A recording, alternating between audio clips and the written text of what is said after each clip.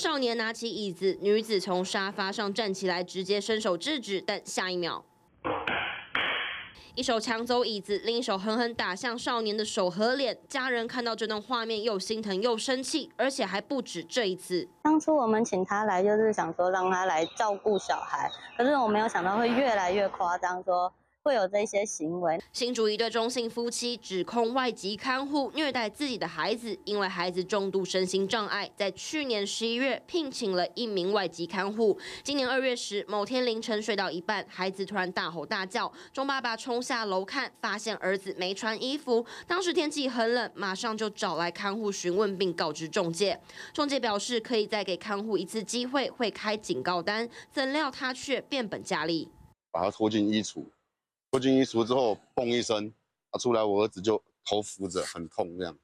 警告完后没两三天，家属指控外籍看护更夸张，会没来由的咬儿子、打他巴掌，甚至盖在棉被里踹他，种种行为相当狠心。但告知中介后，却得到这样的回应：你去告他，时间可能会很冗长。假设真的告成了，他伤害罪成立，嗯，